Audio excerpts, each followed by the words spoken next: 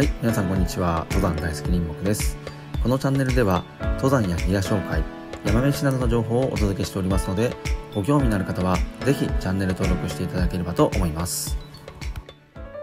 いやー、困りましたよ。一泊二日のね、天泊装備をね、ざっと並べてみたんですけどね。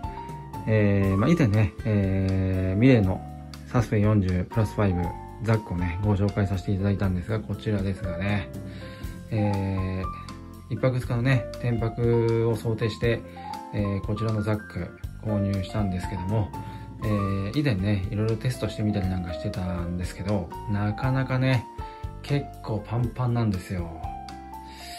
えー、今もね、まあ、こうやって、えー、荷物ね、いろいろこう出してきてみたんですけど、結構ね、いろいろ、えー、考えながらね、えー、スリムにしないとですね、えー、容量的にこの40リッターの中にね、収まらないんですよね。えー、とは言いながらね、えー、なんとかですね、まあこれだけでもね、結構絞り込んでみました。じゃあ早速ね、えー、まあ40リッターのね、一泊二日の天泊装備のパッキング、えー、どんな風にやってるんですか？みたいなね、えー、コメントもね、いただいてますので、えー、早速ね、えー、できるのかどうか、えー、試していきたいと思います。それじゃあね、えー、一泊二日の天泊装備のね、紹介も、えー、していきたいと思います。でまずね、こちらですね。え、こちらは、え、まあ、食料ですね。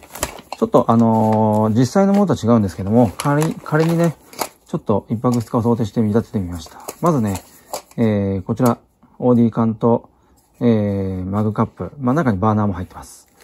で、えー、ちょっとしたね、おつまみの、えー、用のお皿。で、このパッキングをしています。で、あとは、えー、お菓子と、えー、えー、カップラーメンのね、リフィルが一つ入っています。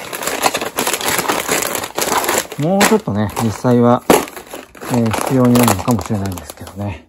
でもまあ、おおむねこのぐらいのボリューム感かなという印象ですね。えー、次はこちら。えー、これは、えー、ダウンパーカーですね。えー、まあちょっとね、スタッフサックの中に入れて、えー、コンパクトに圧縮しています。えー、そしてこちらが、えー、テント用のね、えー、グランドシートとポール、えー、ペグが入っています。で、こちらが、えー、テント本体ですね。いいものあとも 2P。えー、そしてこちらが、えー、シュラフと、えー、ダウンソックス、ダウンパンツが入っています。シュラフはね、えー、モンベルの、えー、ナンバー2、えー、シームレス、えー、ダウンハガ800のナンバー2を使っています。えー、そしてこちらがハイケンチャーの、えー、ピローですね。えー、エアピロー。えー、非常にね、寝心地が良くて、えー、Amazon ベストセラーのね、いい枕なんですよね。えー、こちらが、えー、シュラフカバーですね。まあちょっとね、簡易防水で、えー、まあ結露対策というかね、えー、シュラフが濡れないようにするためのカバーです。えー、これが、えー、まあちょっとしたね、雨用の、えー、折れたみ傘。えー、そして、こいつが、まエマージェンシーですね。まあ裏側に、えー、まあこの中にね、え、簡易トイレも一緒に入れております。え、こちらがザックカバー。え、そしてこれが、え、虫除けネットですね。まあ、ハットの上から被る。え、以前ね、紹介したものです。え、こちらがテーブル、外のフィールドホッパーですね。まあ、これね、あの、ちょっと重量級なんですけど、割とね、あのー、ワンタッチで、えー、開閉するのがお気に入りでね、えー、ワンタッチでね、テーブルにできる。非常に気に入っております。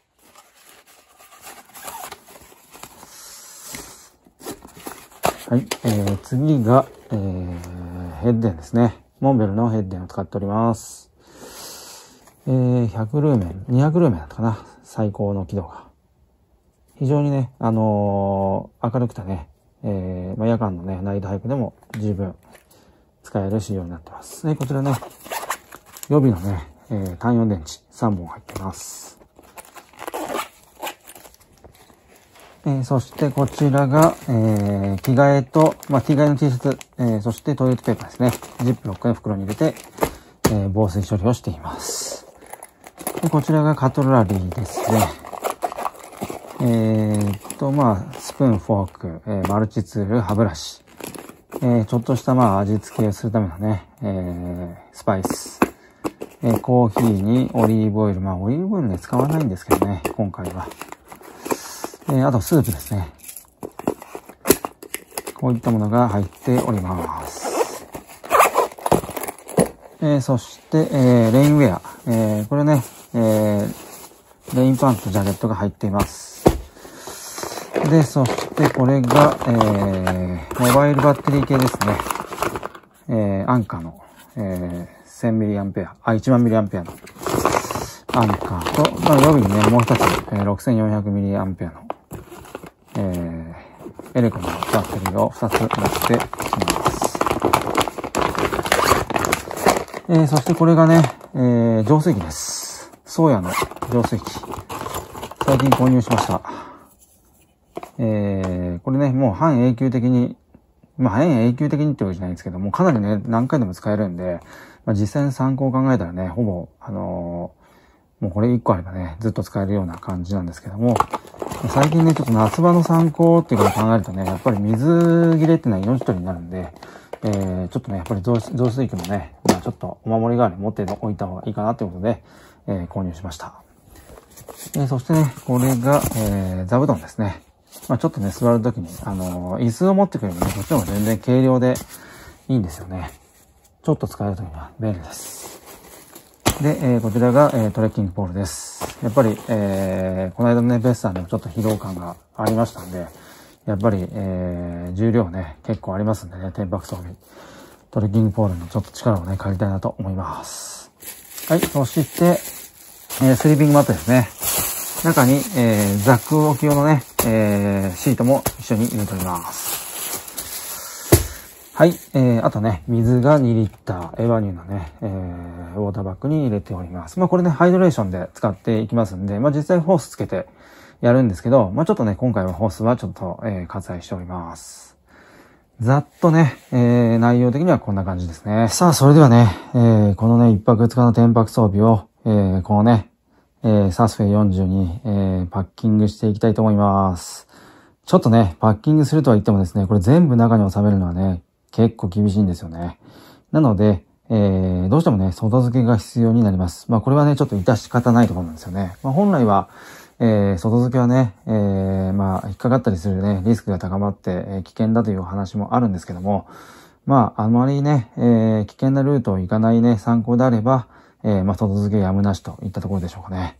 で、今回ね、外付けするのは、えー、このペントポール、えー、グランドシート、えー、ペグ類、これが入った、えー、このパック一式と、えー、トレッキングポール、えー、あとね、スリーピングマット。この3つは、えー、どうしても外付けすることになります。えー、それ以外のものは、えー、ザックの中にね、収めていきたいと思います。あ、ごめんなさい。この座布団もね、えー、中に入れちゃったら使えないですからね。これも外に、えー、外付けします。じゃあ早速、えー、パッキングしていきたいと思います。はい、まずですね、えー、ファーストエイドと、えー、ザックか、ザックのカッパ、ザックカバー。で、あと、えー、虫除けネットね。この3つは、えー、甘豚のね、えー、ポケットの中にね、収納したいと思います。まあ、この辺りはどうしてもね、えー、必要な応じて、すぐに取り出す必要がありますからね。この辺は、まあ雨降っていればね、ザックの皮も必要ですし、虫もね、え出てきたらすぐ使いたいですよね、ネット。でこれをね、ここに入れておきます。はい。え次にね、一番下に、えー、テント入れます。これね、到着してから、えー、するまでね、絶対使わないですから、テントは一番下に入れちゃいますと。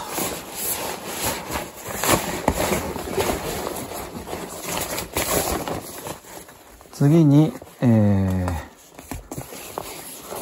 このシラフ、シラフを入れていきます。これも横向きにね、入れちゃいます。結構ね、これだけでも半分ぐらいいってるんですよね。で、そして、えー、ハイドレーション。これね、ちょっと今のうちにね、入れとかないと、えー、っと、後でね、水、これ背中のポケットちっちゃいですから、入んなくなっちゃうんで、先にね、入れます。このポケットの中ね。まあ本当はね、コースもつけるんですけど、まあ今回はね、とりあえず、ボリューム感だけを狙いにでした。で、次は、えー、っと、えー、防寒。防寒機入れます。えー、そして、えー、外のテーブル。これ背中の方でね。で、次に、えー、っと、この辺のやつ入れましょうかね。枕と、えー、シュラフカバー。たら、えー、バッテリー系もね、とりあえずいきですぐ使うことはないので、この辺に入れちゃいます。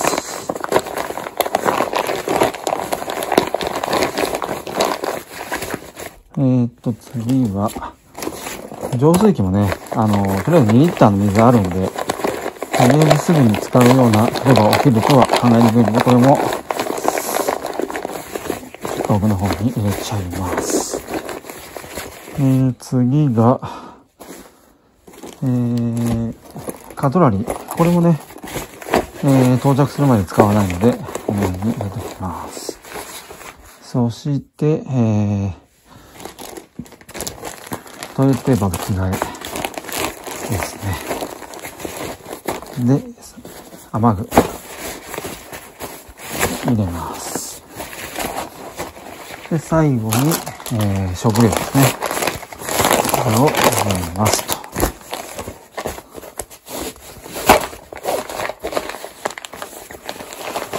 だいたいなんとなくね、こう、収まった感じがありますよね。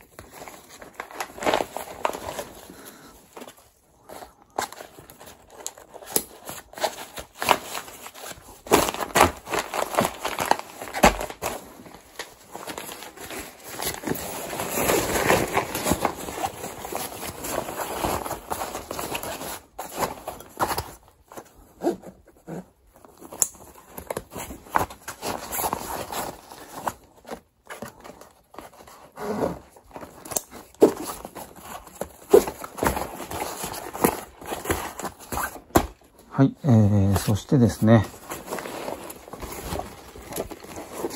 まあ、ヘッデンと、えー、替えの電池はね、のベルトのね、ウエストベルトのポケットの中に入れます。これはね、えー、暗くなった時にね、すぐに使えるようにしとかないとね、困りますんで。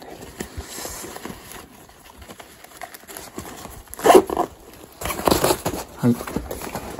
え、そしたらですね、え、傘。これはね、横のポケットにしまいますと。はい。えー、ちょっとね、えー、これ外付けするために、これ、あの、標準の状態だとね、やっぱり外付けできなかったので、ちょっとカスタムしてます。まずこれ背面にね、えー、スリーピングマット取り付けたいと思うので、ここにね、セリアで買ってきたね、えー、ちっちゃいね、カラビナ、えー、4箇所、取り付けております。これを使ってね、えー、同じく、えー、セリアで買ってきたね、このベルト。これでね、背面に、えー、スリーピングマットを取り付けていきます。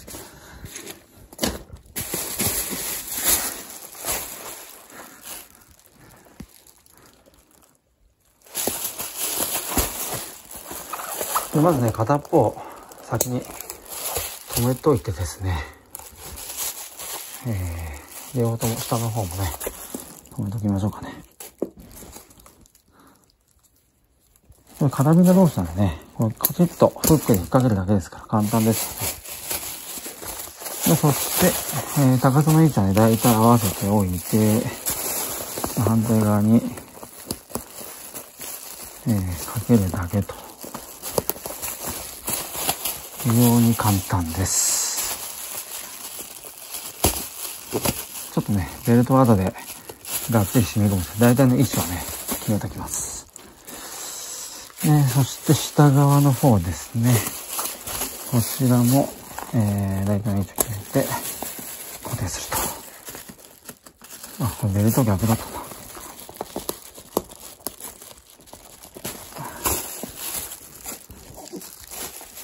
向きがね、調節できる方を上にしとかないと。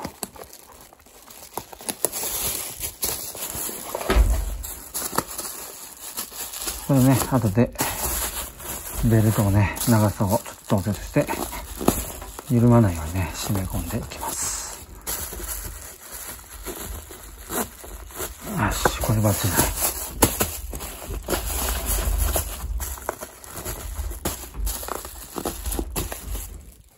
これがっちりきましたよ。ね、これ全然緩まない。OK。したら、えー、サイドにね、トレッキングボール入れます。サイドポケット。結構ポケットきついんですよね。そこが浅いというかですね。で、えー、このベルトをね、緩めて、こちらで固定すると。OK。で、こっちのサイドも同様に締めると。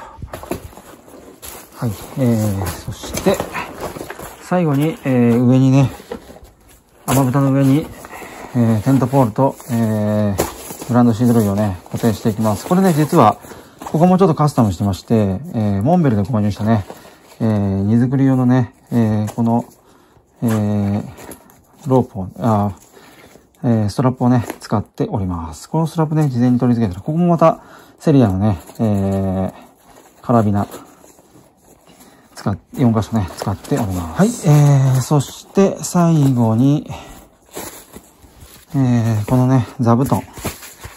座布団を、まあ、これもちょっとね、えー、ジャンプコード使ってね、ちょっとこれもこういう簡易的な、えー、ものを用意してます。取れそうなんで、やっぱりここにかけないかんか。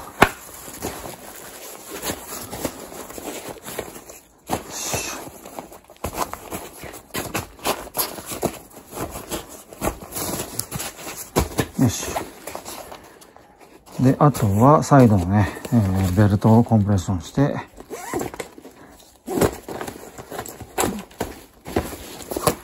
下も緩んでるんで、ここね、最後、ベルトコンプレッションして、ボトムですね。これ、ボトムが緩んでるんで、こいつも。これでいいん